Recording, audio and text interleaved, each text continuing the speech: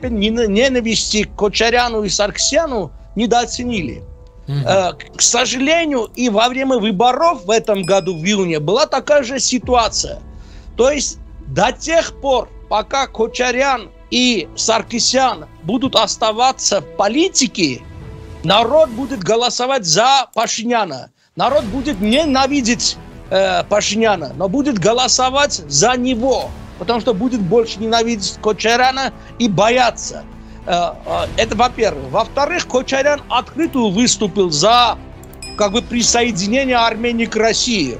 Он э, сказал напрямую об этом и не ответил на вопрос, он является ли противником присоединения Армении к России. Он просто сказал, что у меня нет ответа на этот вопрос. Что думаете вы? Пишите в комментариях. Спасибо за просмотр. До новых встреч!